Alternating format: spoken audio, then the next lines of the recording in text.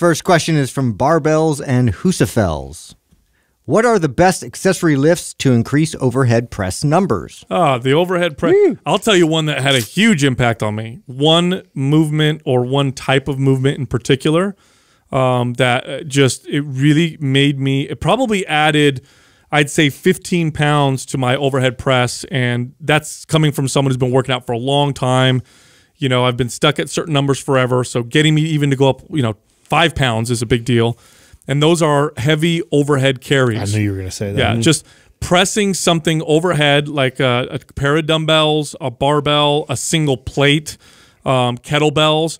Straighten my arms out, having good posture, so maintaining that strong tension, and then walking for you know 20, 30 yards putting them down, resting, and then repeating because it gave me so much more strength mm-hmm. at the at the at the top end of my movement where I tend to, where I I and you're reinforcing that support at yes. that that top position, which is everything with the overhead press. Yes, uh, which yeah, that, that, that's a great exercise. I think for me too, like uh, adding uh, rotational elements to help then even more sort of bo- bolster that stability in the in the whole shoulder joint uh, is huge for me. So uh, one one of them was like a kettlebell halo. Uh, if, if I'm trying to be a little more relatable, you can do this with like a dumbbell where you're rotating it over your head and in front of your body. But uh, I like I like went down the rabbit hole with this, and, and that's where I got into Indian clubs and into mace bells uh, swinging. So it's it's it's loaded uh, shoulder swings for rotation, and and it has totally transformed uh, my strength in terms of overhead press and even bench press uh, as well. So I, I, highly recommend it. All the time, I'm recommending this. I don't know if you would count this as an accessory lift because it's kind of the same thing, but I, the two movements that I think uh, I noticed made a big difference. And to like to Sal's point, I've been lifting for a long time, so anytime we get any sort of incremental gains and like the big lifts from doing something uh, that's a big deal, right? And for me, there was two uh, movements that I wasn't doing, let's say, ten years ago, that I started to do uh, more recently and saw a huge gain in my overhead press. One of those being the Z press, which you've heard me probably tout a, a million times on the show, uh, which is why I tout it all the time because it it made such a big difference.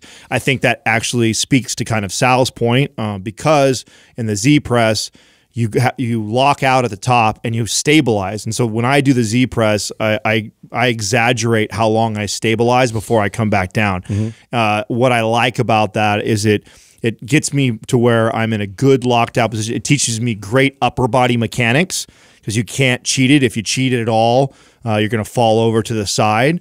And then I get kind of that uh, isometric hold at the top, which the benefits that Sal's talking about he gets. So the Z press was one of those movements. And then the other one that I never used to do until actually I started hanging out with Justin is I never did like a, a push press, mm. uh, which allowed me to increase the weight uh, because I got to use a little bit of body English to get the weight up over my head. Mm-hmm. Uh, I came from like a um, you know bodybuilder type of a background or way of training, you would say, which is very you know tension based and slow tempo and shortening the range of motion up and you know sit- seated uh, overhead press and that like that was like the the go to way to build your shoulders.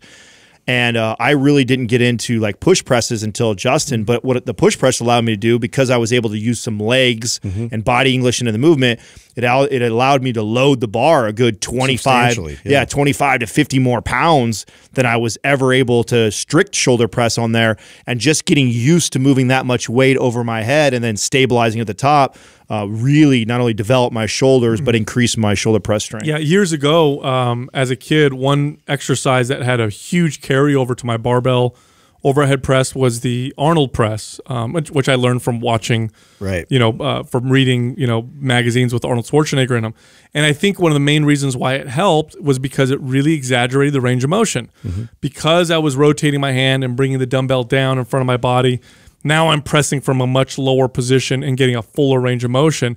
Now, what's even better than an Arnold press, in my opinion, is a kettlebell mm-hmm. overhead press because it's very similar. Yeah, because you can keep it like relatively close to the body the entire way through because of the way it's loaded, and it it, it promotes that nice natural spiral line that you can press your way through. So you get that rotation in your wrist and your elbow and your uh, shoulder all simultaneously. And so it's like your, your body responds to that to, to, to build a nice stable joint there.